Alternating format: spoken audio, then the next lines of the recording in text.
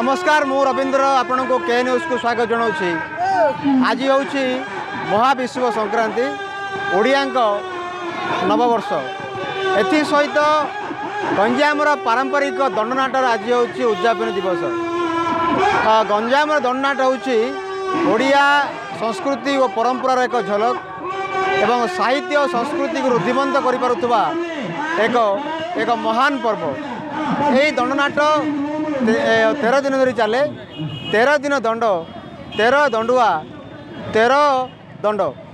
ଏହିପରି ଦଣ୍ଡନାଟ ବହୁ ବର୍ଷ ପୂର୍ବରୁ ଆରମ୍ଭ ହୋଇଥିଲା ଏବଂ ଯେତେବେଳେ ଦଣ୍ଡୁଆମାନେ ଘରୁ ବାହାରିଥିଲେ ଦଣ୍ଡ ଧାରଣ କରିବା ପାଇଁ ସେମାନେ ଗାଁ ଗାଁ ବୁଲିଥିଲେ ଏବଂ ଗାଁର ଯେଉଁ ରାସ୍ତା ଏବଂ ତତଲା ବାଲି ହେଉ କି ତତଲା ପିଚୁ ରାସ୍ତା ସେମାନେ ମଧ୍ୟାହ୍ନରେ ସେମାନେ ଦଣ୍ଡ ଭାଙ୍ଗିଥାନ୍ତି। ଧୁ ଧୁ ଖରାବେଳରେ ସେମାନେ ଦଣ୍ଡ ଗ୍ରହଣ କରିଥାନ୍ତି। ଏହା ସହିତ ସେମାନଙ୍କର ପାଣି ଦଣ୍ଡ ହୁଏ ରାତିରେ ଅଗ୍ନିଦଣ୍ଡ ହୁଏ। এই ଯେଉଁ ବିଭିନ୍ନ ଦଣ୍ଡ ରହିଛି ସେ ବିଭିନ୍ନ ଦଣ୍ଡର ଆଜି ହେଉଛି ଉଦଯାପନ। ସେଥିପାଇଁ ଗାଁଠୁ ପୁରପଲ୍ଲୀ ସବୁଠି ଏବେ ଗୋଟେ ଆଧ୍ୟାତ୍ମିକ ପରିବେଶ। କାହିଁକିନା ଏହି ଦଣ୍ଡନାଟ ଯେଉଁମାନେ ଦଣ୍ଡୁଆ ଘରୁ ବାହାରିଥିଲେ ସେମାନେ ଘର ଆଗରେ ତିନି ଗାର ଟାଣି ଘରୁ ବାହାରିଥିଲେ। ସେମାନେ ଯେମିତି ଘରର ମୁଖ ଦର୍ଶନ କରିବେ ନାହିଁ ଏବଂ ସେମାନେ ପରିବାରର ମୁଖ ଦର୍ଶନ କରିବେ ନାହିଁ। ଯେହେତୁ ସେମାନେ ଋଷିପୁତ୍ର ହେଇଛନ୍ତି ଏବଂ ସେମାନେ ଦଣ୍ଡ ଗ୍ରହଣ କରିଛନ୍ତି ସାଥିରେ ହରଗୌରୀଙ୍କୁ ନେଇକି ଯାଇଛନ୍ତି। ତାର ଆଜି ଉଦଯାପନୀ। ଆପଣ ଦେଖୁଛନ୍ତି ଯେ ବିଭିନ୍ନ ଦଣ୍ଡୁଆମାନେ ଧୋ ଧୋ ଖରାବେଳରେ ସେମାନେ ଦଣ୍ଡ ଭାଙ୍ଗୁଛନ୍ତି। ଆମର ଗୋଟେ ପ୍ରବାଦ ରହିଛି ଯେ ଯେଉଁମାନେ ଆମର ଗଞ୍ଜାମରେ ଯେଉଁମାନେ ଅଛନ୍ତି ବସବାସ କରୁଛନ୍ତି ସେମାନେ ଯେଉଁ ବର୍ଷ ତମାମ ପରିଶ୍ରମ କରିଥାନ୍ତି ସେ ଧାନ ଜମିରେ ଧାନ ରୁଆ ହେଉ କି ସେମାନଙ୍କର ଚାଷ କାର୍ଯ୍ୟ ହେଉ ଏ ସମସ୍ତ କାର୍ଯ୍ୟ ଏହି ଦଣ୍ଡ ମାଧ୍ୟମରେ ପରିବେଷଣ କରିଥାନ୍ତି ଯାହାକୁ ପାଟଭୁକ୍ତା ଏବଂ ଯେଉଁ ଢୋଲକାର ଦଣ୍ଡୁଆ ଏ ସମସ୍ତେ ସେମାନଙ୍କୁ ପରିଚାଳନା କରିଥାନ୍ତି।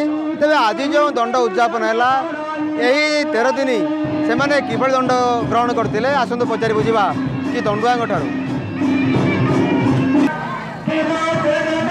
ତେର ଦିନ ଯାଏ ଗଲୁ ମହାପୁର ଧରି ଗଲୁ ମହାପୁର ତେର ଦିନ ଯାଏ ହଂସ ଗାଁଠି ବୁଲିକିରି ମଜା ମଜ କରି ଆସିଲୁ ଆଜି ଗାଁ ଗ୍ରାମକୁ ଆସିଲୁ ଆଜି ମହାପୁର ରହିବ କାଲି ମହାପୁର ଛାଡ଼ିବୁ କ'ଣ କେମିତି ବୁଲୁଥିଲ କ'ଣ କଷ୍ଟ ଜଣାପଡ଼ୁଥିଲା ଆଉ ଏମିତି ଜାଗା ଦୁଃଖ କଷ୍ଟ ଖରା ତରା ବୁଲିକିରି ମହାପୁର ଅନୁଭବ କରି ଯାଇଥିଲୁ କଷ୍ଟ ପଡ଼ିକିରି କଷ୍ଟ ପଡ଼ିକିରି ଆସିଲୁ ଆଉ କ'ଣ ମାନେ କ'ଣ ମାନସିକ ଥିଲା ମାନସିକ ଥିଲା କ'ଣ ମାନସିକ ଥିଲା ଏମିତି କ'ଣ ଏମିତି କ'ଣ ଗୋଟେ ମାନସିକ ହେଲେ ବାପା ମା ତ ମାନସିକ କରିଥିଲେ ସେ ମାନସିକରେ ଆମେ ଯାଇଥିଲୁ ଆଉ ଦାଣ୍ଡରେ ଆଜି ଯେମିତି କରୁଛୁ ଏମିତି ତେର ଦିନ ଯାକ ଦଣ୍ଡ କରିକିରି ଦଣ୍ଡ କରିକିରି ଦଣ୍ଡ ଭାଗିକିରି ଯେମିତି ପଣା ପାଣି ପିଆଜ ପିଇକିରି ଖାଇବା ପିଇବା କରି ରହିଥିଲୁ ଆଜି ଆସିଲୁ ଆଉ। ଆଜି ସରିଲା। ଆଜି ସରିଲା। କ'ଣ କହିବ? କି ତେର ଦିନ ଦଣ୍ଡ ନେଲ କେମିତି ଦଣ୍ଡ ନେଲ? ତେର ଦିନ କ'ଣ ମା ଘର ଦ୍ୱାର ଛାଡ଼ି ବାହାରେ ରହିଲୁ ମାଆଙ୍କ ବାହାରେ ରହିଲୁ ବଣ ଜଙ୍ଗଲ ଯୋଉଠି ବି ରହିକିରି ମାଆଙ୍କ ସେବା କରିକିରି ମାଆଙ୍କ ବାହାରେ ରହିକିରି ସବୁକିଛି କଲୁ। ଆଉ କ'ଣ? ଆଜି କ'ଣ ଦଣ୍ଡ ସରୁଛି? ଆଜି ଦଣ୍ଡ ସରୁଛି। ସବୁ କ'ଣ କ'ଣ ଦଣ୍ଡ ନେଲ? ଦଣ୍ଡ ମାନେ ପାହାଡ଼ ପଡ଼ିଲୁ ତାପରେ ଗୋଟେ ଗୋଟେ ପଟେ ଗଡ଼ି ଗଲୁ ଦୁଇ ଜଣ ଯୋଡ଼ି ଯାଇ ଗଲୁ ନାକ ବାଳ ଧରିଲୁ ହଳ ଖେଳିଲୁ ଏମିତି କିଛି ବହୁତ କିଛି ବହୁତ କିଛି ଅଛି।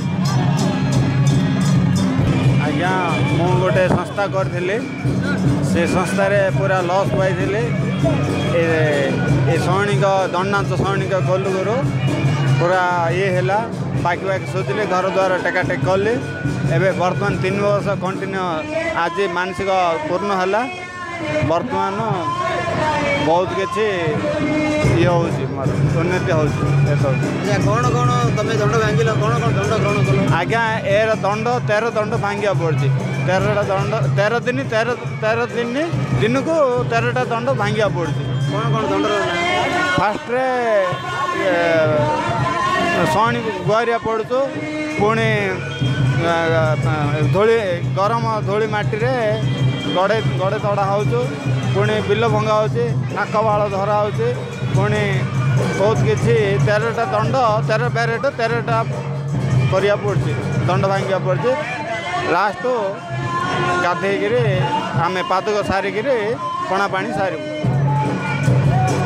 ପ୍ରଥମେ ଆମେ ଆସୁଛୁ ମାଟିରେ ଖରାରେ ଗରମରେ ଆମେ ଗଡ଼ୁଛୁ ବୁଝିଲେ? ତାପରେ ଆମର ତେରଟା ଦଣ୍ଡ ହେଉଛି। ତେରଟା ଦଣ୍ଡ ଆମେ ଭାଙ୍ଗିବୁ ପୁଣି ବନ୍ଧୁକୁ ଯିବୁ ବନ୍ଧୁ ଗଲା ପରେ ପଣା ଖାଇବୁ।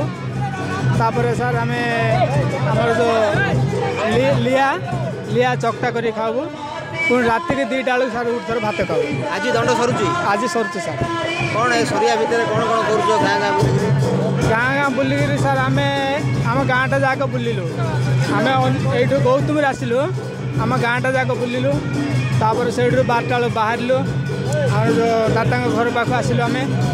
ଆସିକିରି ଆମେ ଏଇଠି ତାଙ୍କର ମନସ୍କାମନା ପୂର୍ଣ୍ଣ କରୁ। ତାପରେ ସାର୍ ଆମେ ବନ୍ଧୁକୁ ଯିବୁ। ତାପରେ ମେରୁରେ କ'ଣ? ମେରୁରେ ସାର୍ ଆମର ପାଠଭୁକ୍ତାକୁ ମେରୁ ଉପଚାର କରିବୁ। ତାଙ୍କର ନାକରୁ ତିନି ଟୋପା ରକ୍ତ ବାହାରିଲା ପରେ ଆମର ମେରୁ ସମାପ୍ତ ହେବ। ତାପରେ ଆମର ନଡ଼ିଆ ସବୁ ଭଙ୍ଗା ଭଙ୍ଗା ହେବ ତାପରେ ମେରୁ ସମାପ୍ତ ହେବ। ଆଉ ଥରେ ଆସନ୍ତା ବର୍ଷ ଆସନ୍ତା ବର୍ଷ ସାର୍। ବଞ୍ଚିଥିଲେ ଆସନ୍ତା ବର୍ଷ ବର୍ଷା ହେଉଥିଲା ଦୁଇ ଦିନ ବର୍ଷା ହେଇଗଲା। ବର୍ଷାରେ ମଧ୍ୟ ବହୁତ ହଇରାଣ ହେଲୁ। ତାପରେ ବହୁତ ଖରାରେ ବୋଲ ଚାଲ କରିକିରି ବୁଲିକିରି ଆସିଲୁ ମାଆଙ୍କୁ ଧରିକିରି ଆଉ। ଆଜି ଶେଷ? ଆଜି ଶେଷ ଦିନ। ବିଶ୍ୱାସ ଠାକୁରଙ୍କର ଯାହା ସନ୍ତାନ ପତ୍ର ଉପରେ ଭଲ ଓସାର ଉପରେ କାମନା ମାନସିକ କରୁଛନ୍ତି କୁମ୍ଭ ଢାଳୁଛନ୍ତି ମାନସିକ ପୂର୍ଣ୍ଣ ହେଲେ ନାଚ କରୁଛନ୍ତି ଏ ପ୍ରକାର ଜିନିଷ ଆଉ। ଆମେ ସବୁ ଗଞ୍ଜାମରେ ଆଜ୍ଞା ଆମର ତେର ଦଣ୍ଡ ହେଉଛି କ'ଣ ଦଣ୍ଡ? ଦର ଦଣ୍ଡ ବୋଲେ ଆମର ଦଣ୍ଡ ଭାଙ୍ଗିବାକୁ ଏବେ ଖରାରେ ଧୂଳି ଦଣ୍ଡ ଗୋଟେ ହେଉଛି ତାପରେ ବନ୍ଧ ତୁଟକୁ ଗଲେ ପାଣି ଦଣ୍ଡ ଗୋଟେ ହେଉଛି ଆଳତୀଟା ଗୋଟେ ଦଣ୍ଡ ହେଉଛି ଏମିତିଆ ଦଣ୍ଡ ଭାଙ୍ଗିବାରେ ଏବେ ତେର ପ୍ରକାର ଅଛି କୂଅ ହେଉଛି ମନ୍ଦିର ହେଉଛି କାଠ ମଡ଼ା ହେଉଛି ହଳଦୀ ବଟା ହେଉଛି ଲୁଗା ବୁଣା ହେଉଛି ଏଟା ଭୋଗ ରନ୍ଧା ହେଉଛି କ'ଣ ପାଇଁ ସବୁ ଚାଷ କାମ ପାଇଁ ଏଯାକ ମାଆଙ୍କର ସବୁ ଯାକ ନୀତି ନିୟମ। ଏଯାକ ସବୁ ଚଢ଼େଇବା ରହୁଛି ବିଣାକାର ରହୁଛି। ଏସବୁ କାମ ହେଉଛି ମାଆଙ୍କର ଆଉ। ଆଉ ଥରେ ଆସନ୍ତା ବର୍ଷ ଆଉ ଥରେ ଆସନ୍ତା ବର୍ଷକୁ ଏ ବର୍ଷ ଏଇଟା ଲାଷ୍ଟ ଦିନଟା ସଂକ୍ରାନ୍ତି। ନିଶ୍ଚିତ ନା ମା- ନିଶ୍ଚିତ ଭାବେ ବିଶ୍ୱାସକୁ ନେଇ ହିଁ ଠାକୁର। କାହିଁକିନା ଆପଣ ଯେତେ ବିଶ୍ୱାସ କରିବେ କୁହାଯାଏ। ବିଶ୍ୱାସ ମୂଳେ ହିଁ ଜଗତ। ସେଇଥିପାଇଁ କେଉଁ ଶହ ଶହ ବର୍ଷ ଧରି ଏହି ଗଞ୍ଜାମର ପରମ୍ପରା ଦଣ୍ଡନାଟ ଚାଲି ଆସିଛି ଏବଂ ଧୋଉ ଧୋଉ ଖରାବେଳେ ହେଉ କିମ୍ବା ଝଡ଼ ବର୍ଷା ତୋଫାନ ହେଉ ଏହି ଦଣ୍ଡୁଆମାନେ ଗାଁକୁ ଗାଁ ବୁଲିଥାନ୍ତି ଏବଂ ଯେତେ ଦୁଃଖ କଷ୍ଟ ଆସିଲେ ମଧ୍ୟ ତାକୁ ସହ୍ୟ କରିଥାନ୍ତି ସେମାନେ ହେଉଛନ୍ତି ଦଣ୍ଡୁଆ। ଏବଂ ଏହି ତେର ଦିନର ଯାତ୍ରା ପରେ ସେମାନେ ଏହି ମେରୁରେ ସମାପନ କରିଛନ୍ତି। ମାତ୍ର ପାଟମୁକ୍ତାର ଦୁଇ ଟୋପା ରକ୍ତ ମେରୁକୁଣ୍ଡରେ ପଡ଼ିଲା ପରେ।